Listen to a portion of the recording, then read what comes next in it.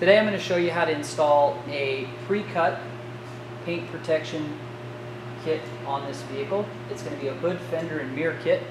Um, I'd recommend a high quality 8 mil self-healing product if possible. Um, I'm going to go ahead and open this kit up we got online here. Some instructions there. Should have a little squeegee in there. Um, the first thing I'm going to do is go over the tools that you'll need for the job. Um, you'll need your pre-cut clear bra kit, um, a preferably yellow turbo squeegee, but any color turbo squeegee will do. Um, a spray bottle full of um, distilled water um, and about 10-20% of baby shampoo. And a spray bottle full of uh, distilled water um, or regular water is fine, preferably distilled water, um, and 20-25% of isopropyl alcohol. 70-90%, any of that's fine. Uh, water and rubbing alcohol to clean the surface with before applying it. Um, a clay bar, you don't uh, need these. Um, if, if, your car has a little bit of sap, some bugs, it's a year or two old, you want to put a bra on it, you can pick these up at your local hardware store, and I'll show you um, how to use that in just a second. Um, you'll need um, just a soft rag or cloth um, from around your house. Um, the first thing I'm going to do is start by cleaning the vehicle. I'm going to start with the hood strip here. I'm going to spray this with rubbing alcohol and water. I'm going to go ahead and clean the surface.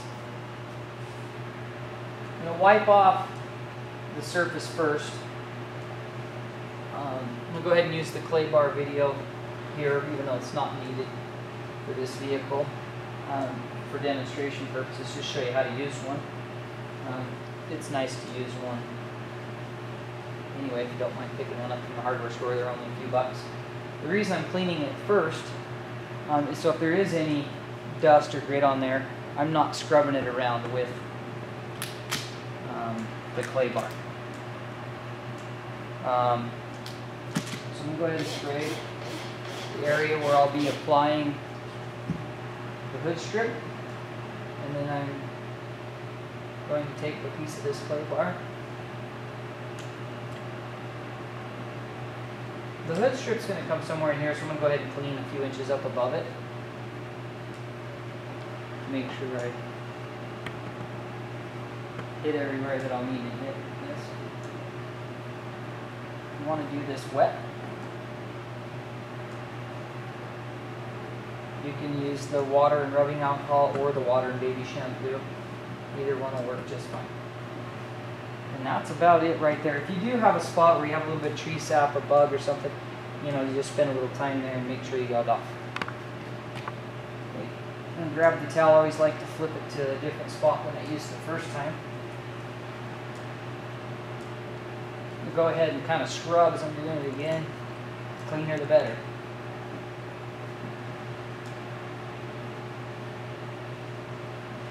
Go up a little higher than the paint material will go. That way dust, dirty water and stuff doesn't run down behind the bra when I'm installing it.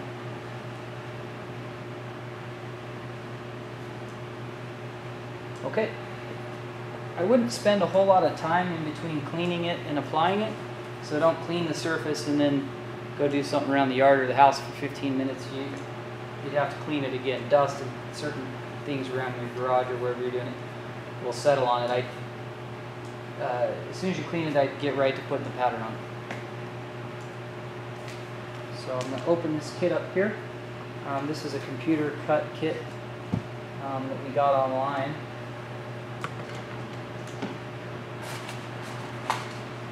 Again, I'd recommend an 8 mil uh, self-healing, uh, high-quality paint protection film. Um, there's some cheap stuff out there. The self-healing's nice. Um, if you get light scratches on it, you can heat it with a heat gun or a steamer, and the majority of those scratches will go out of the product. Um, I'm going to lay out my patterns here. We've got this pre-cut computer kit here online. Um, we're finding that half the kits will come individualized like this, where this particular company has actually cut out the individual pieces. And some companies you'll get a roll you roll out, and the patterns are all beyond there, um, and then you'll just individualize them. Um, either way, as long as you're getting a high quality self healing material, um, the install's basically the same either way. Um, one way is not uh, necessarily easier or harder than the other. Um, in this case, they're individualized. Um, if they weren't, um, you, you would basically just trim them out. So I'm going to set these aside. Um, I'm going to spray the hood here with the baby shampoo and water. Okay. This is real easy to do yourself. Um, you shouldn't need any extra help from anybody. If you have someone around the house, you may just have them peel that liner, but um, pretty easy to do yourself. Um, I'd recommend peeling it down halfway. Be generous with the baby shampoo and water. And pull it down a little further. If this material sticks to itself dry, you won't get it back apart without ruining it. So you need to keep it wet as you're going. The trick is just put your foot on that and pull up. So that last little part that's dry there, I want to make sure that that doesn't touch itself and stick to itself. That's why I sprayed it wet as I pulled and then just pulled the last little bit off there end. Now it's wet. If it sticks together, it comes right back apart. Go ahead and line this up, lay it on there. Kind of do a little fit check there. Don't want to step on that. Looks like it fits great. You can see I gotta line the nose up, bring that over. You want to check that your distances here on the right side are the same as on the left side. Get a feel for this. You can see this is curved. There's extra material here. Um, so that's going to need to get stretched. A little bit of a gap there, that tells me that this pattern is going to need a little stretch each way. So right now I have a one inch gap here and a half an inch gap here. So this pattern needs to go this way just a little so that those are even. Um, the software that was designed for this car, um, it's telling me that it needs stretch. It's going to need stretch to get around this curve. And I can see that. Um, the computer cut kits, um, generally for the hood, fender, and mirrors, they're, they're not meant to wrap the edges. Um, if you wanted to just overstretch this from the very center, you could get a quarter of an inch extra material and, and, and wrap these edges if you want.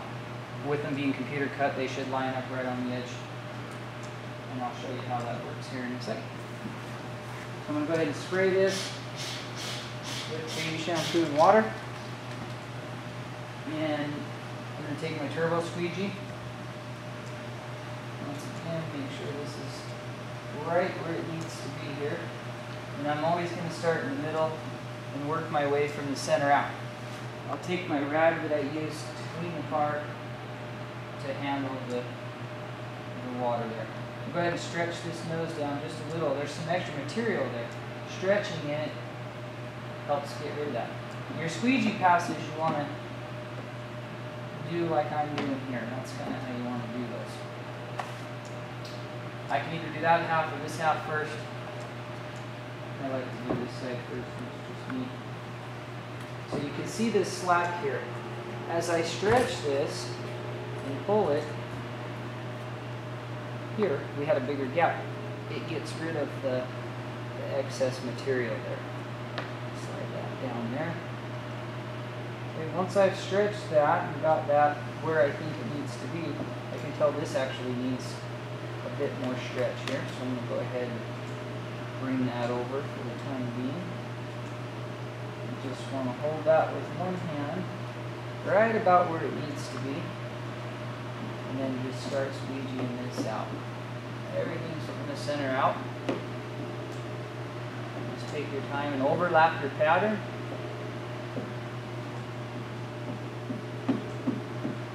Don't jump the distance of the squeegee each time, only move down a half an inch. That way you don't miss pushing any of the moisture out from behind the material.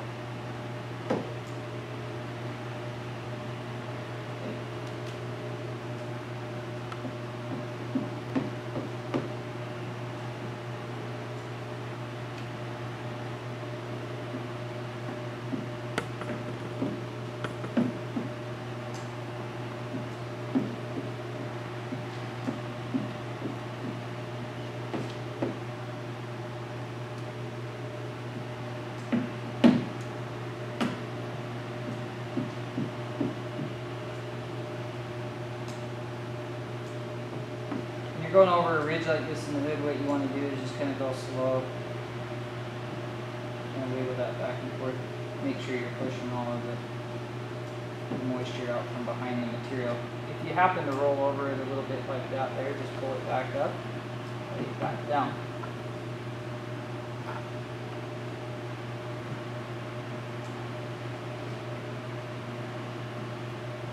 I'll go ahead and explain to you what you do in a situation like this where you get a little extra material. Um, what you want to do is just stretch it a little with one hand and lay it with the other hand. As that adhesive starts getting tacky, eventually it will lay down as the adhesive starts to dry and it won't pop back up. And I'll show you more of that in a minute. So once you've squeegeed the majority of the moisture out of one half, what I like to do is is wipe off this side of the bra so I can see it. See if I missed anything. And I, I didn't, so go ahead and look that over. Stretch this, just give this a little push here for a minute.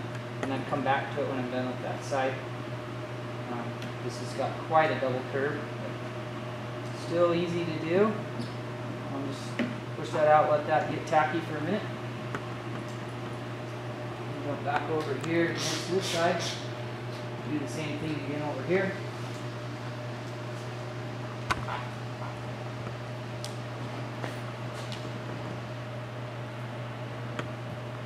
That a little stretch. Make sure that's lined up. Hold it where it needs to be. Start laying the material. Once again, everything's from the center out. Spot like that, you just pop it back up. It's okay to pull this back up and lay it back down. It's not going to hurt anything as long as it's wet.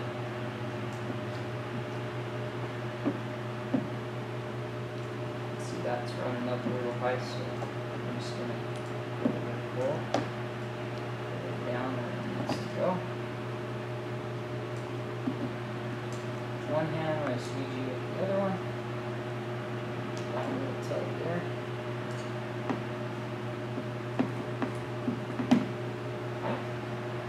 Here. Pull that in this position there.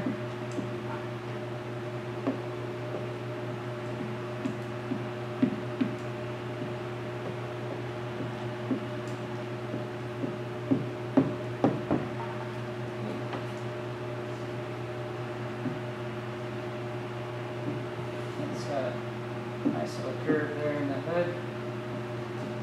So I'm that.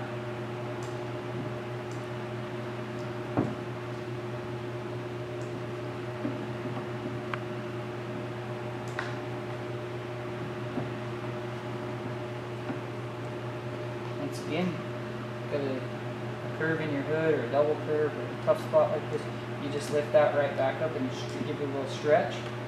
Press through there slow and hold. And just work that out like that. Go ahead and clean this side. Take a look at what we've done. And I'm going to go around and seal the edges. Little spots where it may need, may that.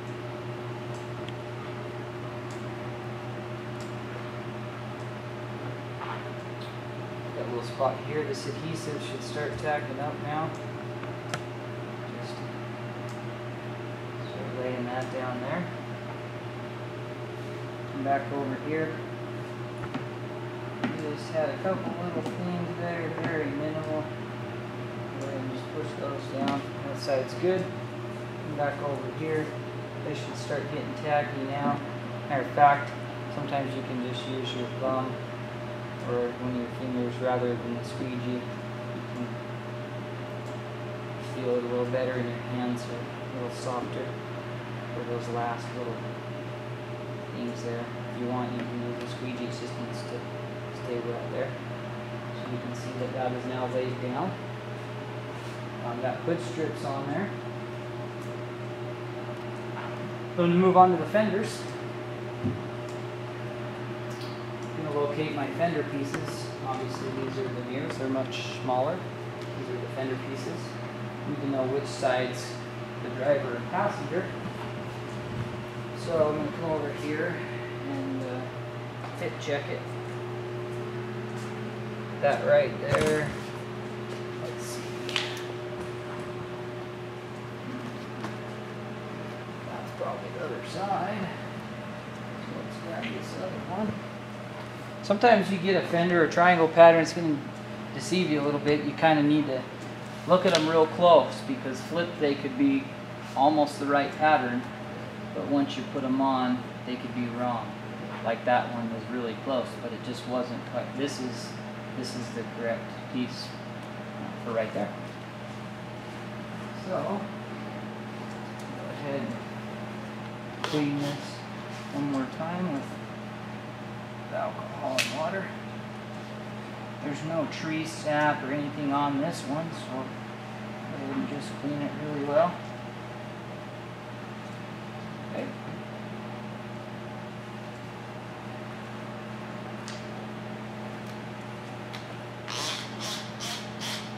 Spray it with the baby shampoo and water. Always like to double check everything one last time right before I put it on, make sure I didn't pick up the wrong one. If you do and you've filled the backing, you can always just spray your side and start over there. Peel that off. Use plenty of gel there. Go ahead put that on there and line that up. You can see that the software that these guys use is pretty right on and that fits the vehicle perfectly. Go ahead and give that a little miss. Sometimes you can even wet your squeegee over there on the excess. Um, what I like to always do is just start from the middle out. This pattern necessarily, it doesn't necessarily need you to start from the center out. Um, it's a very easy, small pattern to apply. Um, I just uh, like to do it that way done that way for years.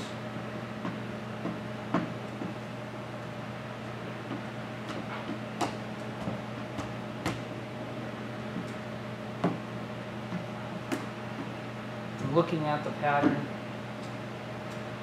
making sure it doesn't move. On a smaller pattern, they'll tend to move around a lot. You want to make sure that your lines are still even and the pattern still lined up as you're squeegeeing. If it moves on you halfway through your squeegee, you just pull it back off, spray it again, and start over. If you keep an eye on it when you're doing it, generally it won't move.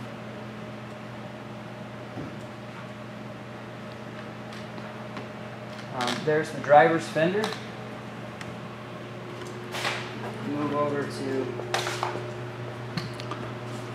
passenger fender. First thing I'm going to do is clean it.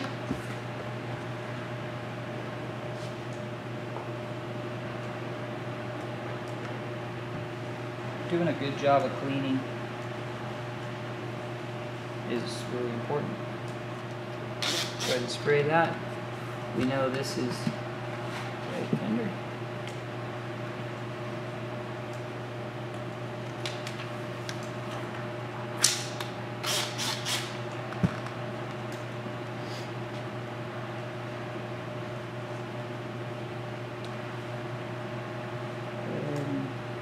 line that up.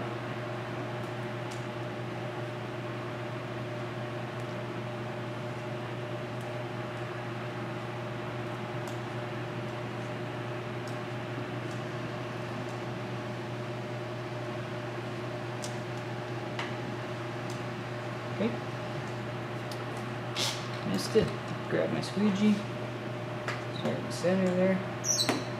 You always want to pull the squeegee stroke. You don't want to push. You'll overlap it and you'll miss. Um, just always push the squeegee.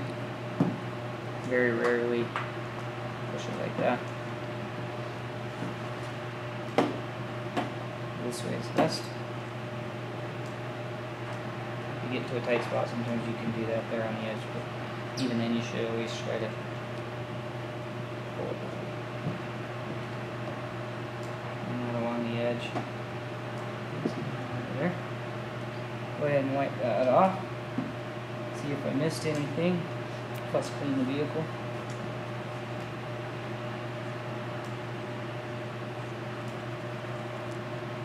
See that lined up nicely there. You can check spots like this. Um, now the adhesive's getting really sticky. It's really tacked up there. So on that curve where we had to stretch that, um, it's just laying right down. If you have to stretch a nose like this a little bit um, to get it to lay down on the curve, um, you can always wrap that and you can leave it wrapped or trim it to match the other there. Um, the sides stay good. Sides stay good. The fenders done. Um, if you have painted mirrors, um, you can go ahead and apply the mirror pieces. Um, they're really easy. I'm going to go ahead and show you for, like I said earlier in the video, um, demonstration purposes for this um, instructional video. Um, I wouldn't recommend putting material on a plastic mirror. If you have one, I would just discard these. If they're painted, which half or more of the vehicles are, um, you'd want to apply these. So the first thing you're going to want to do is clean the surface. Uh, this mirror would be painted if you were doing it um, to protect the paint from chips. Um,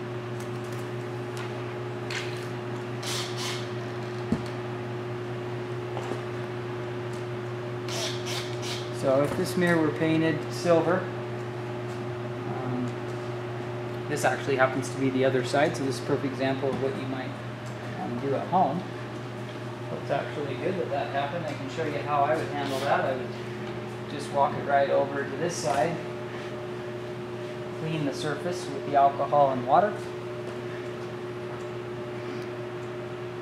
Come over here.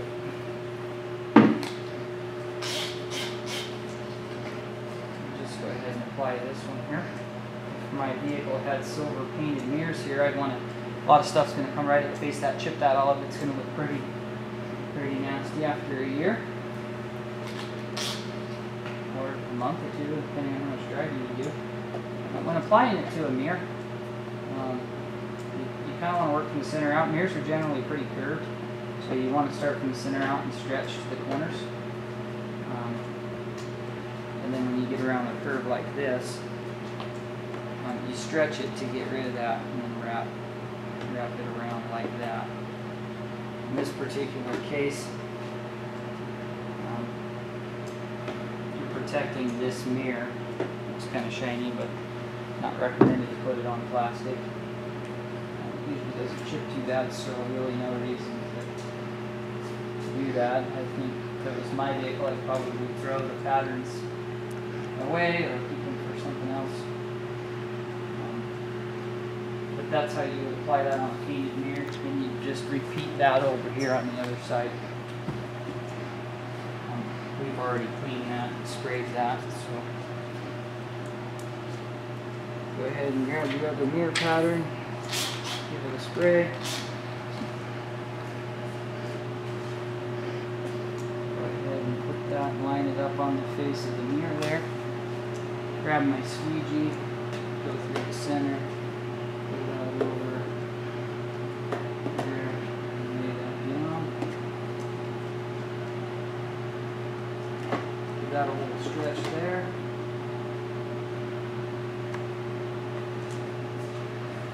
Clean that up.